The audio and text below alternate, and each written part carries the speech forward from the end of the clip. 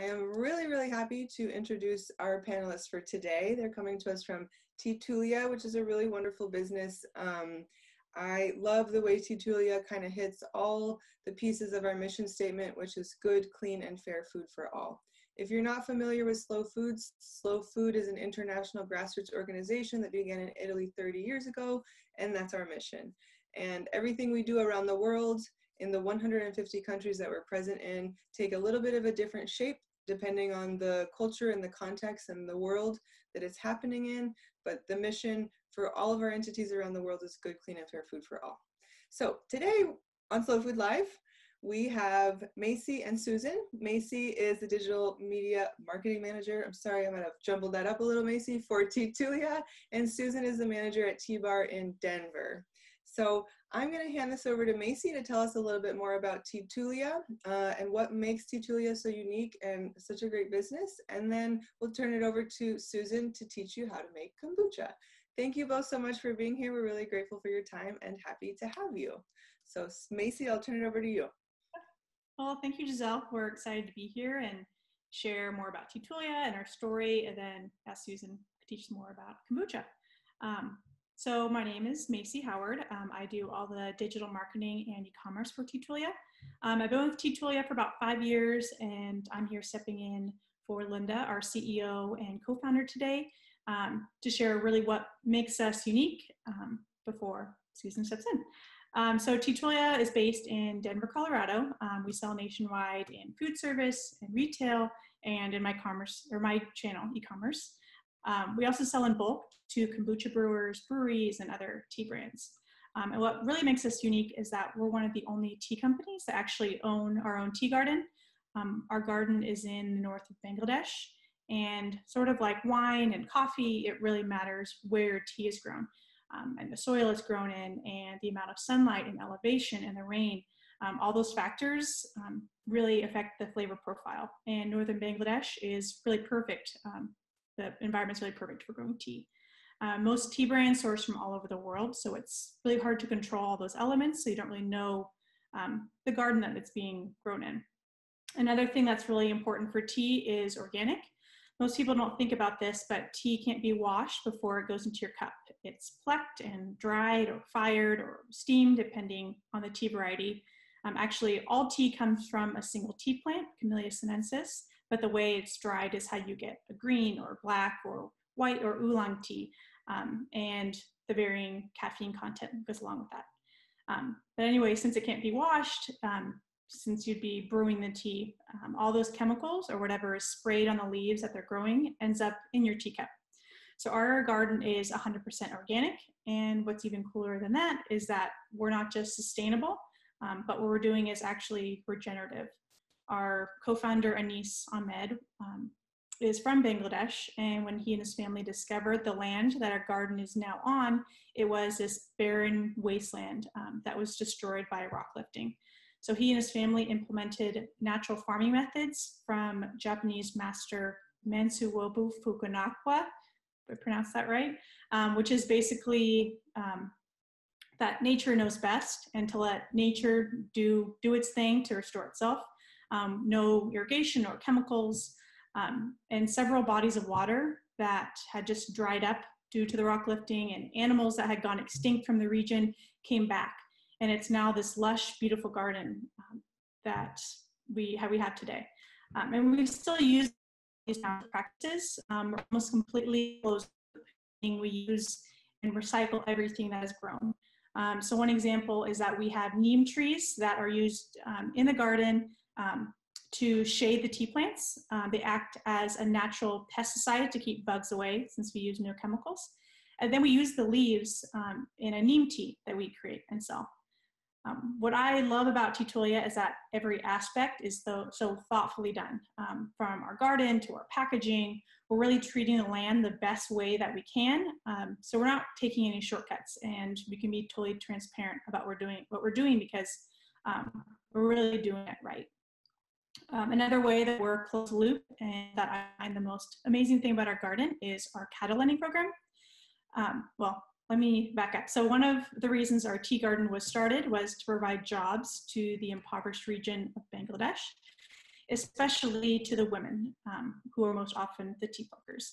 Um, our founders believe that providing um, jobs for these women so they can work and provide an education for themselves to lift themselves out of poverty was much better than providing money for a couple meals. Um, so not only do we provide jobs at the garden to pluck the tea leaves, um, but we pay for the women to leave a couple times a week to attend schools to learn basic skills like how to read and write and count, um, something that they don't have access to. Um, so during one of the trips to the garden, we met a, we met a woman who said that she was so grateful to learn how to count because she realized that she was getting shortchanged at the market every week, and she didn't know because she didn't know how to count. So now she she um, is funding for herself. Um, we also hear from the women all the time that they're so excited that they can finally make big purchases for themselves because they know how to sign their names and they don't have to rely on their husbands to sign for them. Um, and they're finally making a salary for themselves and for their families. Um, one of our greatest initiatives is our cattle lending program, back to that. Um, so we grow, to grow all 2,000 acres of tea and without chemicals, we need a way to enrich the soil. Um, and a great way to do that is with cow manure. Um, but we're not in the business of raising cows. So what the Ahmed family did, Ahmed family is um, the Bangladeshi co-founders, um, is uh, loan the women who work in the community cows or who live in the community. Um, so the women raise the cows in their homes and each week they provide a set amount of milk and cow dung that we use for our garden. Um, and they get to keep a portion of the milk to sell or to, to feed their families. Um, after the loan is paid off, it takes about two years. They can keep the cow, and during that period, they can keep any calves that the cow may have. Um, I recently got the opportunity to go to Bangladesh and we met with several women who are part of this program and got to hear their stories. And this has really changed thousands of families' lives in Bangladesh.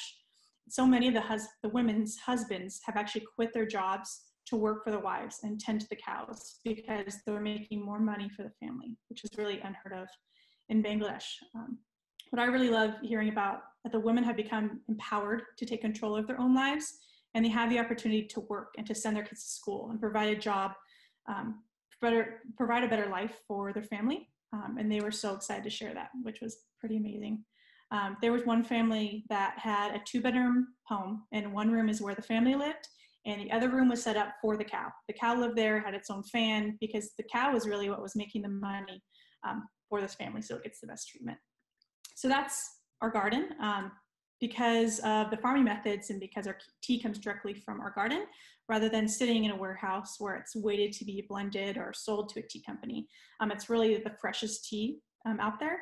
Um, and because our tea is so good and pure on its own, um, it's really, most of our teas have only one ingredient, which is the tea itself. Um, we don't need to add in any other ingredients that sometimes can be used to cover up any bitterness or um, any imperfections. And we know that tea can be really in intimidating to a lot of people. Um, so we like to be a bit more casual with our brewing than um, some other tea brands out there. We don't worry about ultra precise water temperature or exact timing, and we really encourage our customers to kind of play around with it.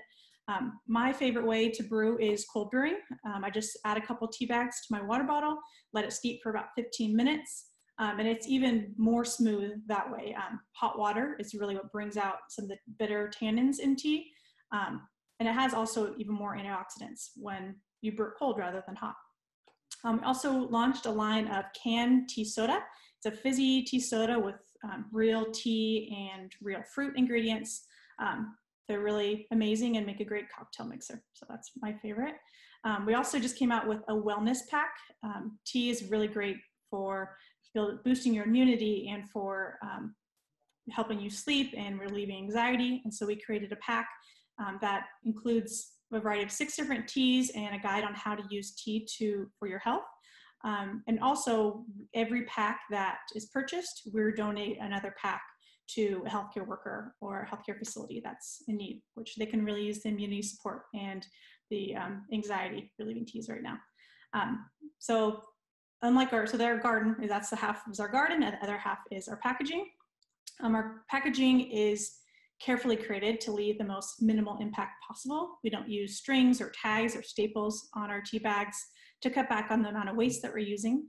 Um, and our tea bags and our canisters and our wrappers are compostable. So we're really treating um, the land with the really the most respect that we can.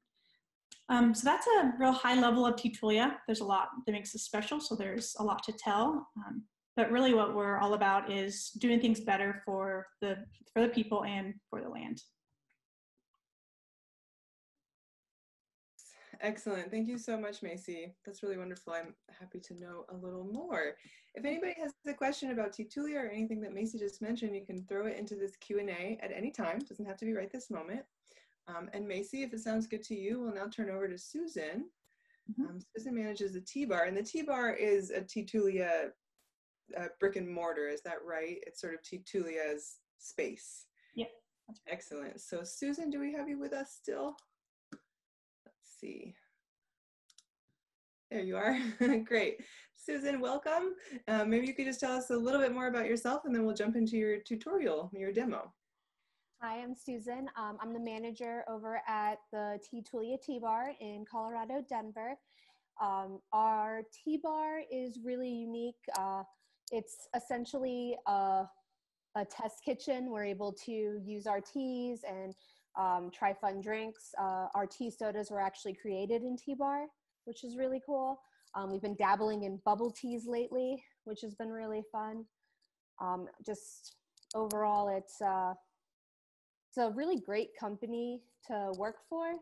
Um, it feels good to be providing product that we know exactly where it's coming from and what's in it, what's in it. So Excellent. Can you tell us where it's located and what you guys are up to now that you can't be open in the normal way that you usually are? So we are still technically open. We're just um, carry out only. We're um, in Denver, Colorado. It's uh, in the Highlands area, closer to downtown Denver. Um, right now, we have this, uh, our space is, um, it used to be a garage. So we have this um, awesome space and we just put up our garage door and we've just been serving everything through there, which most people have been very receptive to. Excellent. That's great. Awesome. Well, if you're ready, we'll play this demo. Stephanie has, I'm sorry, Susan, just talking to somebody named Stephanie earlier today. Susan has pre-recorded so she could be in her sort of maker space and do this um, for you. I'm going to switch over to the video if that sounds good to you, Susan. Perfect. Great, and we'll get going. So this is your demo on how to make kombucha. Um, it's a, just a little over 20 minutes. If you have questions during the demo, please put them in the Q&A and then as soon as it's done, we'll ask those questions to Susan. Hello, I'm Susan and I run the cafe over at Teatulia Tea Bar in Denver, Colorado. And today we are gonna go over the first fermentation process of homebrewing kombucha. For those of you who aren't familiar with kombucha, it is a fermented tea it can be served still or sparkling, usually at the grocery store. It's sparkling. Um, kombucha is a uh, probiotic beverage that promotes gut health. It contains live cultures, and it's also known to be a good detoxifying beverage. People find brewing kombucha to be intimidating, but it's actually very easy. Essentially, it is just a fermented sweet tea. Um, we're going to go over some of the ingredients that you need to brew kombucha at home. You're going to need a stirring spoon, a what, at least one gallon wide mouth glass vessel, a gallon of filtered water, get into that later. Of course, you're going to need your teas. You use about six bags of black tea and six bags of green tea, organic cane sugar, some starter tea, and then a SCOBY.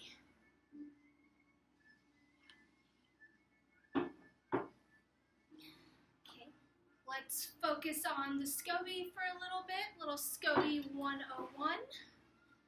So in order to make kombucha, you have to have a SCOBY. SCOBY stands for Symbiotic Colony of Bacteria in Yeast. It is what ferments the sweet tea into kombucha. Um, gloves. You always want to have clean hands when handling a SCOBY. So this is what it looks like. A little rubbery, very fragile.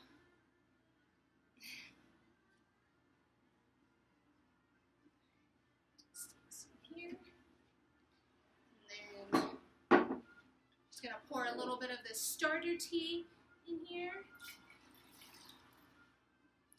All starter tea is is a sweetened tea that's already been fermented.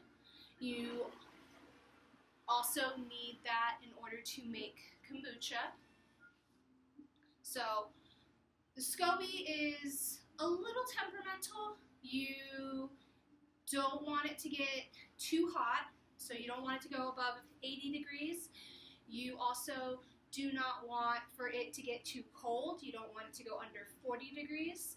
The reason being, if it gets too hot, with the SCOBY being a live culture, it will die and your tea may not ferment properly. And if it gets too cold, the fermentation process stops. And then again, your tea won't ferment properly. All right, let's get to the good stuff. Let's start brewing our kombucha. So I have a hot plate back here. The pot, and we are going to start brewing some tea. I have a cup of filtered water here. Just going to pour it into the pot. That boil for a second. So you always want to use filtered water when brewing kombucha. The reason being is tap water has traces of chlorine and other impurities in it, and your SCOBY needs pure filtrated water to stay healthy. So always, always, always use filtered water. Um, a little trick that I do is I boil water ahead of time and then I will let it sit and rest at room temperature and then there you go, free filtered water. Um, another ingredient that you need is your tea. I use six bags of black tea and six bags of green tea for my kombucha blends. People ask all the time if the tea that you use matters. Personally, I think it does because you don't want a tea that has, you know, pesticides or chemicals. Um, in my opinion, organic is the best way to go. You are consuming this into your body. Um, the reason why Teatulia teas are so great is all of our teas are organic. We grow them in Bangladesh. Um, we don't use any chemicals or pesticides when growing our teas. Uh, we don't use, as you can see, any strings or tags or staples on our tea bags. And our tea bags themselves are compostable. They're made out of corn silk. Corn silk, sorry. So um, you can find our teas um, on teatulia.com's website. We have loose leaf, bag tea, either one will work. Um, I just find using tea bags to be a little easier when brewing kombucha. So I'm going to put six tea bags of black and then six tea bags of the Teatulia green tea. Black and green tea are usually the best blends when you first start out with home brewing. Um, the SCOBY responds really well to the tannins when fermenting. Another ingredient that you need is going to be sugar. I always recommend organic cane sugar. Now, it doesn't have to be um, it doesn't have to be cane sugar. It could be any organic sugar, but it has to be real sugar. It cannot be any um, Splendas or Stevias. Um, I know somebody who makes it with um, coconut sugar. Um, again, uh, organic is always best. Um, the whole point of kombucha is that it's good for you, and you want to keep your ingredients pretty pretty pure. So you put in a cup of organic cane sugar. Give it a stir. I know that um, in previous classes that I have done, people are concerned about the amount of sugar that goes into brewing kombucha. Uh, the sugar is just for the uh, is for the SCOBY itself. It's how the fermentation process is made. The SCOBY will feed on the sugar, and uh, that's how it ferments. So when people see, oh, that's a lot of sugar, I usually just let them know that the sugar is to feed the SCOBY. It goes to the SCOBY and not not to you. By the time your tea is fermented, there is very little sugar in there. I'm gonna close this, and we're gonna brew it for about seven to ten minutes. And while the tea is brewing, I'm going to go over a few frequently asked questions about brewing kombucha. Um, and then, of course, if I miss any of your questions, please uh, ask in the message boards and I will respond as I can. So, most people want to know uh, just how important the starter tea is with the SCOBY. Um, it's pretty important um, kind of similar to yogurt. In order to make yogurt, you need to have a little bit of another uh, yogurt with live probiotics. Um, it's the same thing essentially with the fermentation process with kombucha.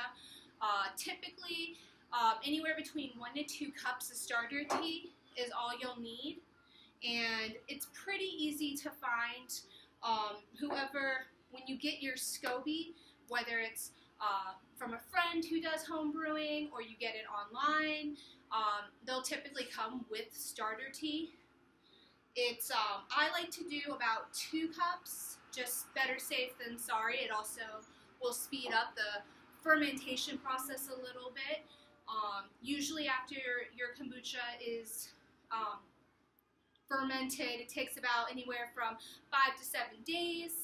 Um, once it hits past those dates, um, if the SCOBY doesn't have enough sugar to keep it going, it turns a little vinegary. So usually after about four or five days, I start tasting it every day to get it to that sweet spot of my personal preference. Some people like it a little sweeter, some like it a little more vinegary. That is going to be uh, personal preference, but I usually like it where it is right on the cusp of being vinegary, but not not quite there yet. Um, another question I get is is kombucha gluten free? It is. Um, it also is vegan if you don't add any honey to the second fermentation process. Um, another really popular question that I get is if, uh, let's give this a stir.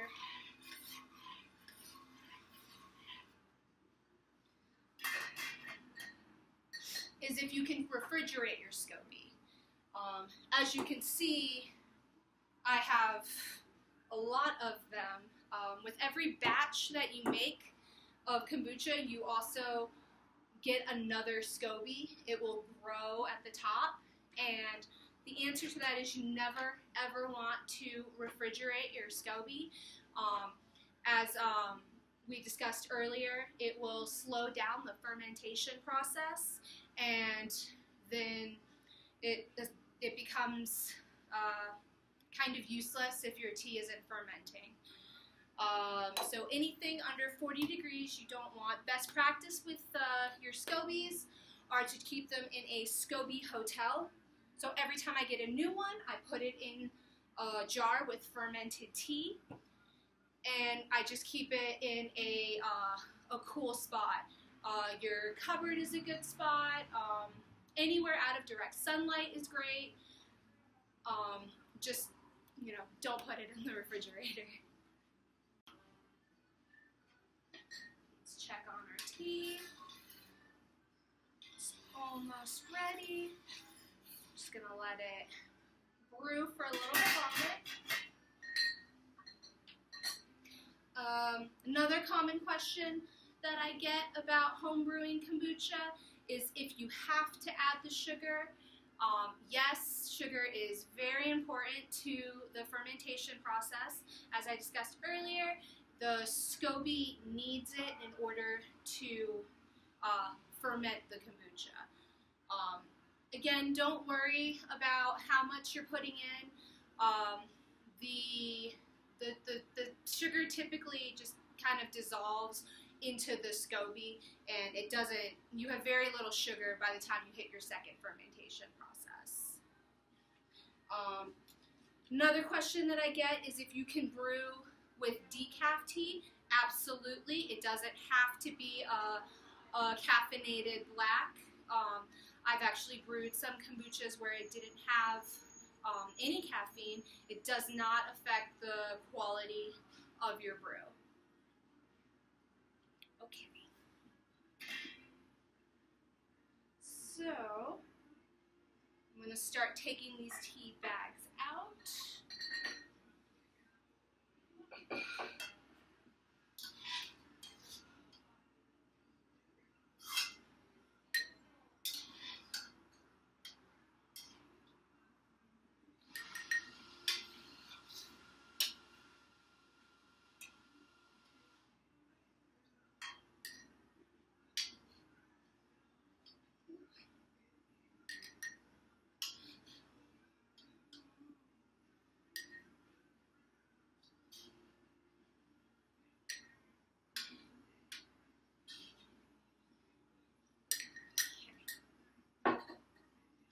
Turn the hot plate off.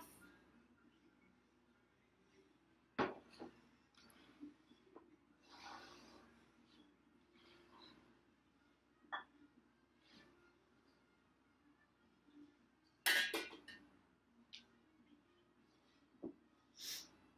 gonna grab my vessel.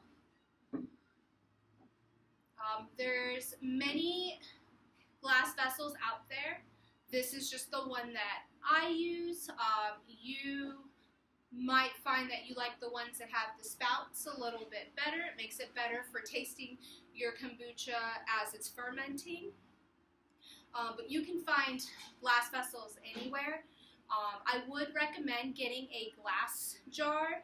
Um, you don't want to use plastic uh, or ceramics. Um, glass is typically uh, the best. Enough sunlight can get into it. Um, you don't have to worry about the SCOBY clinging onto particles from plastic. Um, you can find them basically anywhere um, online, at your grocery store. And then, because you don't want your SCOBY to get too warm, I have a little cheat where I only, out of the one gallon of water, I only brew four cups. I make it very concentrated, and then I mix it with the cold water. That way, you don't have to wait several hours for your tea to cool before putting your SCOBY in. So I have my three quarts of room temperature filtered water. I'm gonna pour it into the jar.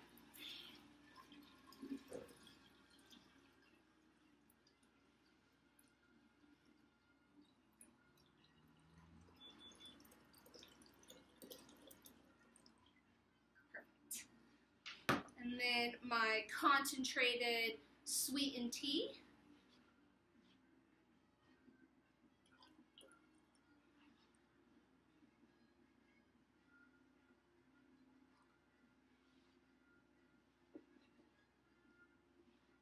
Probably pour just a little bit.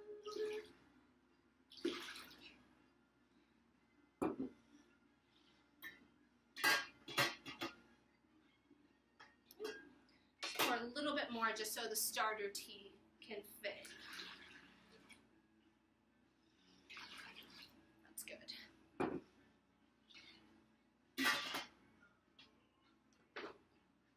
Okay. The jar. It's cool to the touch. It's perfect, so I don't have to worry about damaging the SCOBY.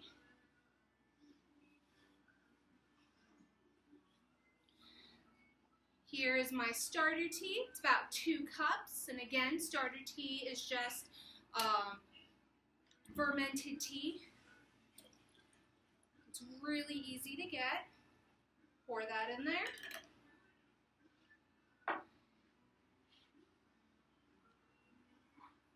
Then we are going to add the SCOBY.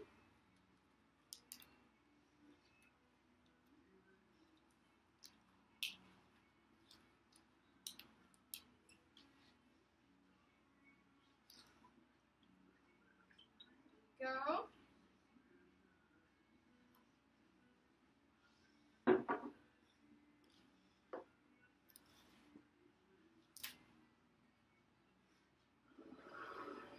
there you have it, the first fermentation process of brewing kombucha.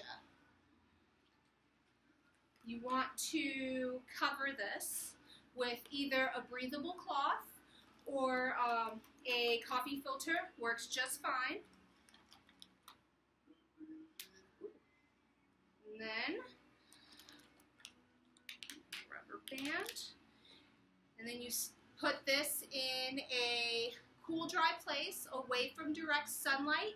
Um, a little sunlight is good, but you just don't want it to be in direct sunlight because, again, you don't want your SCOBY to get too warm. Um, but you just let this sit anywhere from five to seven days. I usually start testing it uh, about four days in. Uh, just give it a little sip, see how it tastes, and you pull the SCOBY out once you have hit the flavor profile that you like. So once you your kombucha is ready and you're happy with its flavor, you just open this guy back up and you stick your hand in, you grab the SCOBY, you stick it in your SCOBY hotel, and grab two cups. Always remember to grab two cups of the fermented starter tea and put it in your other vessel with your SCOBYs.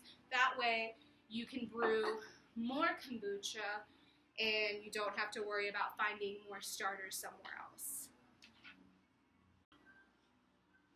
All right, so just a recap of what we just did. Wrap this gal back up.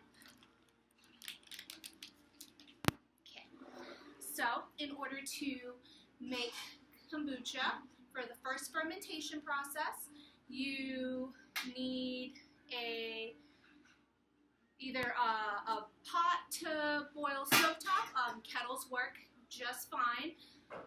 You need a stirring spoon.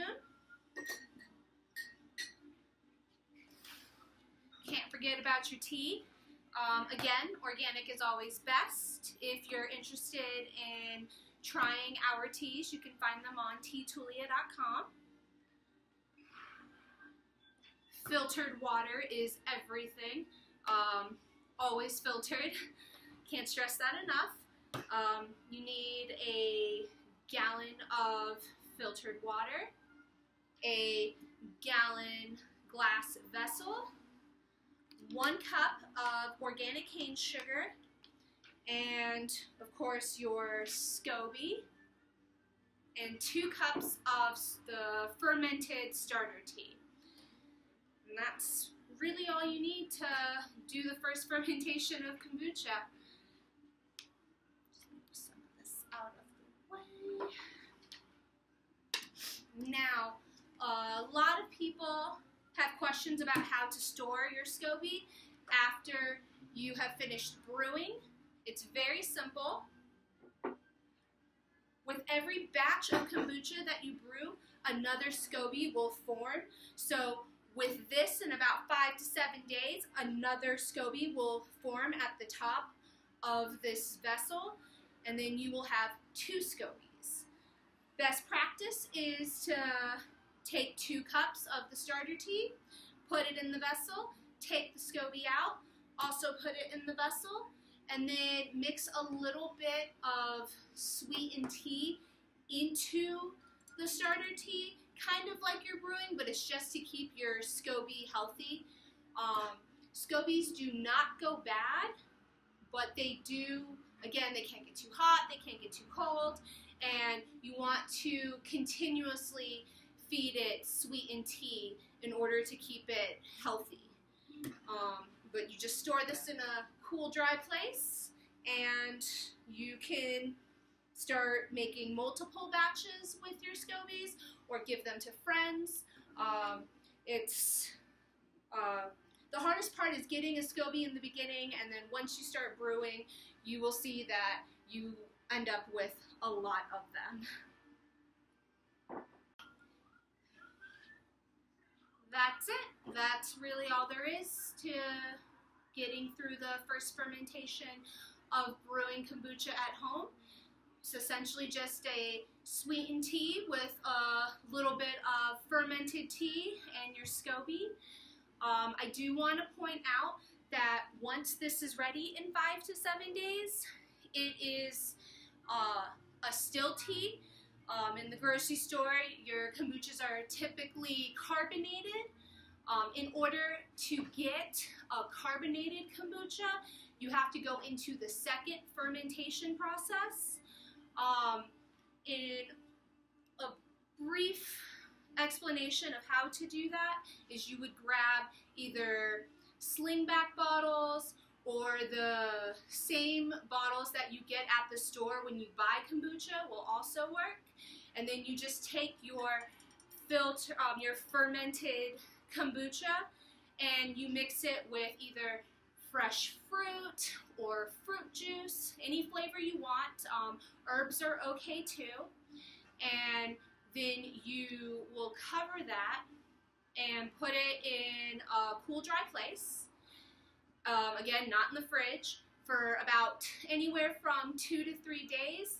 And the tea will feed off of the sugar from the fruit or the fruit juice, and that is how the carbonation comes to be. Um, of course, this class is just to get you through the first fermentation. I personally like it without the carbonation, but I know many home brewers who will take the time and you, for the extra few days to do the second fermentation. If you have any questions about how to get your kombucha carbonated, um, feel free to ask and I will answer them as they come. All right, and that's it. I hope you enjoyed learning how to do the first fermentation of homebrew kombucha as much as I did teaching y'all. Please don't hesitate to ask any questions and I will do my best to answer them all. Thank you. Excellent. Thank you, Susan. That is great and has gotten me excited to try again. I'm one of those that I tried and now I feel a little better equipped to try again. So Susan's been in our Q&A answering lots of your questions, which is great because there are a lot of great questions. So we'll spend the, the last little bit of this session getting to the rest of the questions. So Susan, I don't know if there are a few in there that sort of jump out to you or I can pull some of these out. Um, one thing that I think is a good place to start maybe is um, what is the kombucha supposed to taste like? So when you're tasting it throughout the process, um, what are you looking for? What What's a good thing? What's a bad thing? So um, that's more of a preference per person. Um, initially, when you first make the kombucha, it's going to be um, very sweet. It's going to be essentially just a sweet tea. As a few days go by, you'll start to taste it. It'll be a little, it'll still be sweet, but it'll be a little tangy. And then um, uh, the more that you wait, the more vinegary it will get. Now, um, one thing I didn't say in the video is there, it, there comes a point where the kombucha is too vinegary to drink. Um, you can usually tell, you can smell it. It just smells like vinegar. That's just the fermentation process. Um, sometimes it happens to the best of us. Um, it's hard to check on it every single day. Um, when that happens, I usually just transfer it into a bottle and use it as cleaning vinegar and then just start over. Um, but the uh, starter tea is essentially just it's um, it's kombucha that's gone too far. So it's perfect. It's perfectly safe to use to make more kombucha, but I wouldn't necessarily drink it if it smells and tastes like vinegar. Excellent, thank you. And the bitterness and sweetness, does that have more to do with like which teas and how much of them you're putting in? And the sweetness would be how much sugar you've put in there. Like, say, if I don't want something too bitter, or if I do like the bitterness, how can I keep it or well, let go? so the different um, by blending different teas, you can get different flavors. Um, obviously, if you only use black, it's going to be a little darker the uh, green and black blend uh, typically comes out like the flavor pro- profile is really nice. Um, it really is just based off preference. So the SCOBY is going to feed off of the sugar, and you'll be able to taste that within uh, several days. So it's more about hitting that sweet spot of do you want it a little sweeter? Do you want it a little more? I mean, like a little bitter, a little more vinegary. So that's why it's so important to try it uh, the fourth day, the fifth day, the sixth day, because um, it's it's kind of uh, it's like an avocado. Today it's great, tomorrow it's gone. That's a great comparison for reference. It really is. importance of keeping an eye on it. Um, one question I definitely want to ask is how is there a way to identify whether your SCOBY or their hotel are healthy? Yes. So um, the internet's a great resource, um, but scobies they kind of there's several different ones i've got some really really beautiful ones and then i've got some that you know they look a little funky um, usually as long as you don't see um, any mold on it you sh- it's okay um, i do know some people like to dabble um, very bravely with their first fermentation and they may add other herbs in there or um, some people try um, fermenting coffee so um, usually for those, those scobies are one and done, and you can typically tell because the color won't be white and it'll be, you know, darker. But for the most part, I would just say look to the internet because sometimes, like, you'll look at it and you'll think, oh, you know, maybe there's something wrong with it, and nine times out of ten, it's perfectly fine unless it's been sitting in really hot temperatures, and you can usually tell. Great, perfect, good tip. And um, somebody mentioned that they like to that chickens like scobies. Maybe a couple words on what to do if you end up having extra scobies, and then and then let's pull back and talk about where I could get a SCOBY. so I have heard of people making, um, taking their extra scobies and turning them into treats. Um, usually, uh, to my knowledge, they dry them out. I don't have any personal uh, experience dabbling with my scobies outside of making kombucha, I will usually just give them away or we sell them in our kombucha kits. And then um, finding a SCOBY, we sell kombucha kits at the Tea Bar in Denver. But if you're a little further away, I would honestly just recommend going on Facebook Marketplace or going on Etsy. Uh, there's so many home brewers out there, and with every batch that you make, you get more. And there are people just literally giving them away with starter tea.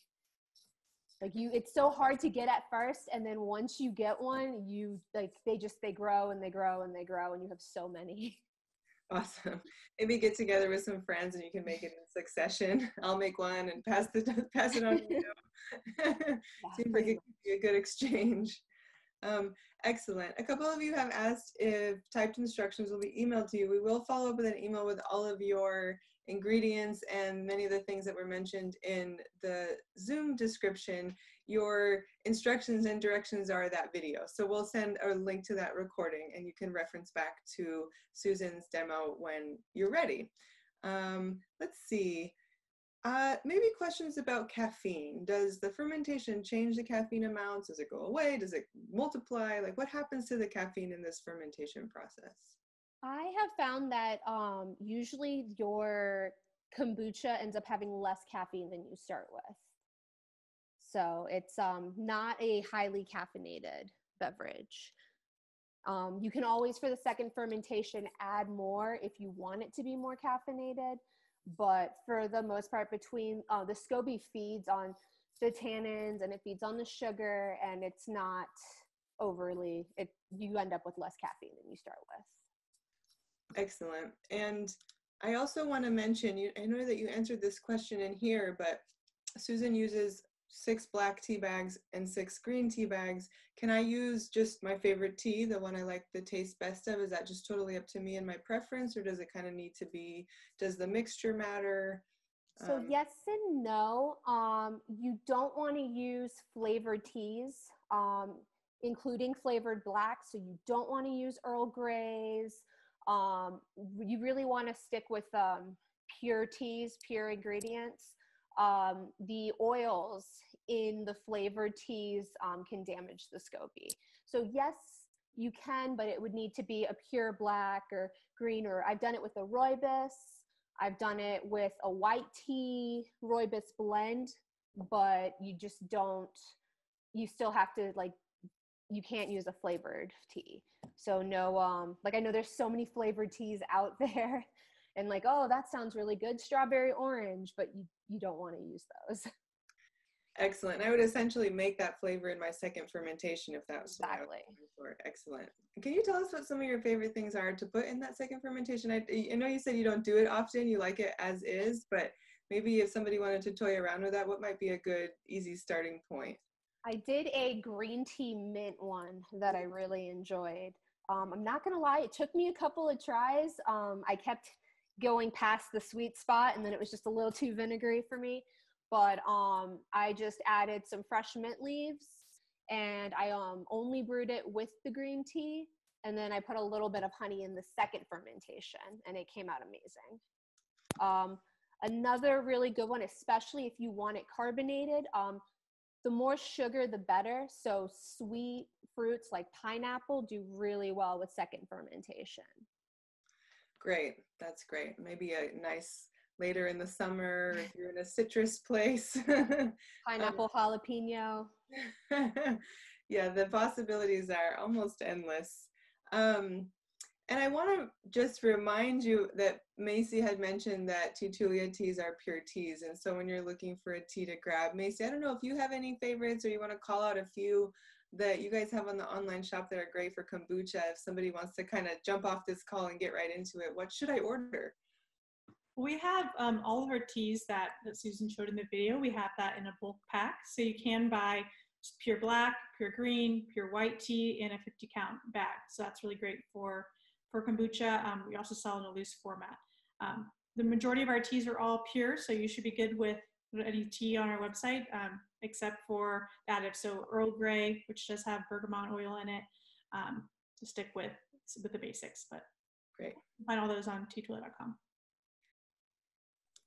Excellent. And I'm glad you mentioned the loose tea. Susan, I want to ask one more question about if I'm using loose tea and not a tea bag, how, how would I go about getting those measurements or what's the right ratio?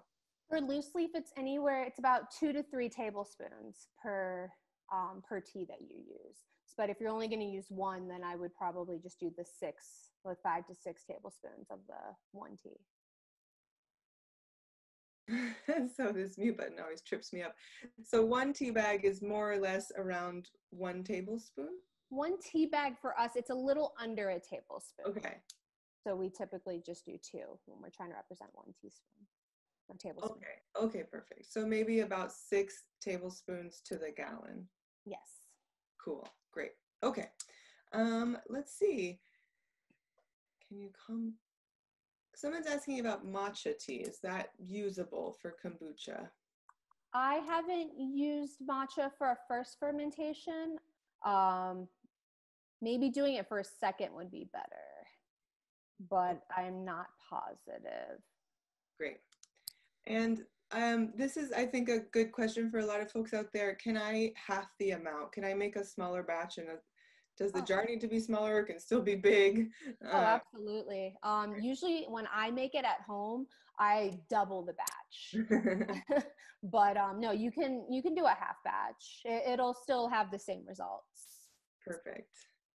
Perfect. And someone has, uh, Yvonne is asking it during the second fermentation, should it be done at room temperature or refrigerated? And I recall that you said not to put it in the refrigerator, but what's the environment we're looking at for storing that? Can just remind us of that.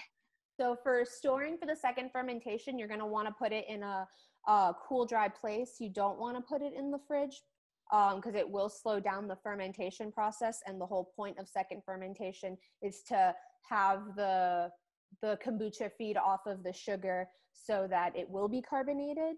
Um, I find that putting it, I put them in card, like in a cardboard box, just in case the carbonation is too much and it spills or it overfills. Um, and then I just put it in my pantry. Excellent. Um, it's best to taste it every day though to test the carbonation because if it does get too carbonated, sometimes those bottles can explode. I don't want to scare anyone, but it can happen. Yes, it and it does happen. In my college years, experimentation with home brewing lost a, a, few pieces of glass that way. so a worth a worthwhile tip. Um, let's see. I just found one. They're jumping around. I keep losing them. I found a question that I wanted to ask you. Um, okay, in the winter, how do you keep kombucha at the right time? So it's really very cold in your space. Can you remind us what the sort of minimum temperature we want to go to is? So living in Colorado, even when I do brew and it's colder, um, I haven't personally had any issues. Um, you don't want um, you don't want it to go under 40 degrees. I've um, I know people who use like a heating mat and they'll keep their kombucha on there, but I, I maybe I've just been very lucky. but um, I we I haven't had any issues. It's just more about you know you don't want to keep it in the fridge, but if you keep it in the cabinet, it's usually fine. Or um, I've also put it like you just put it on your table and it's not indirect sunlight, but it's still getting sunlight. It's usually okay. Excellent. So if you're comfortable, your kombucha is probably pretty comfortable. um, okay, this is the question I was looking for. Can you talk to us about alcohol content? Does does that come out of the game with a little bit of alcohol in it? If you wanted to boost or decrease any alcohol content, is there a way you can control that? So um, I've actually recently been looking into how to increase it.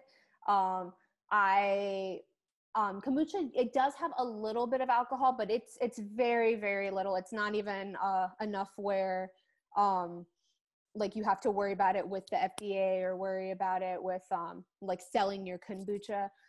So it's not anything to worry about. Um, that being said i personally never made a kombucha that was too strong but i have we've sold um, some of our vendors kombuchas at our cafe and any like people who are very very sensitive to alcohol they may be able to taste it. So i think it just varies on the person but you could have i mean you could probably drink that whole gallon and you would not get drunk not, not with these brewing instructions um, in order to make it a higher alcohol content from what i understand that is a third fermentation process and um, you need to get special equipment very similar to when you're brewing beer cool Cool, interesting to know. All right, and I'm sorry if we don't get to your question. I want to honor um, Macy and Susan's time here, so I'm going to end us before the hour. And I do want to ask one last question. So, um, in the first and the second fermentation, when it's done, I believe you said in the first fermentation that you leave it on the counter um, at room temperature. Do you do the same with the second? If I get it to the sparkling place that I want, do I then put it the bottle in the fridge so it'll stop fermenting? So once you hit the carbonation level that you want, um, you would strain. If you used fresh fruit or herbs or um, anything other than just fruit juice, you would strain that out. Then you could just keep it in your bottles, and that's when you put it in the fridge to stop the fermentation process. Perfect. Excellent. Um, I'm going to leave a minute or two for the two of you to add anything else you'd like. Uh, thank you all so much for joining us today. Again, everyone who's registered for this webinar will receive an email from me that has links to the Teatulia shop, your list of ingredients, and of course this um, as a recording on YouTube. So you can reference back to it if you forget something or if you haven't quite started your kombucha process yet, you can start that way. So I don't know if you two want to add anything else before we wrap this up. I know that um, everyone's all over, but anybody who is in the Denver area, and if you don't have a SCOBY, we do sell the kits, and um, you can have all of the starter tea you want. and can I order from Tea Bar online to come pick up at your location? You cannot. Can I call you? Uh, but you could do, um, yeah, you could call and we could definitely get that set up, but just not online for the, the kits. Excellent. So if you're in the Denver area, give Tea Bar a call and they will get you set up and ready to go. If you're not, good luck finding a SCOBY. I believe in you. I think you can find one. I, I agree with Susan that they're out there. Um, Macy and Susan, thank you so much for joining us today. Um, I hope you all keep an eye on Teatulia. Grab some teas from their online shop to get into your kitchen. And I love knowing about that wellness kit. I think that's a really cool idea, especially right now. Um, so thank you to the both of you so much for joining us and for your support of Slow Food over the years. We appreciate you and I'm grateful for your time today. Great. Thank you so much. It's great to be a part of it. Awesome. All right. Okay, good luck with your kombucha. When you make your kombucha, tag Teatulia and Tea Bar and Slow Food so we can see how it's going and let us know what tea you put in it and what if you're going to do a second fermentation and what you're going to do with it. So grab, find us on social media and tag all of us so we can see your progress. And everybody take care. Thank you for joining us today. And thanks again to the two of you. Bye. Thank you.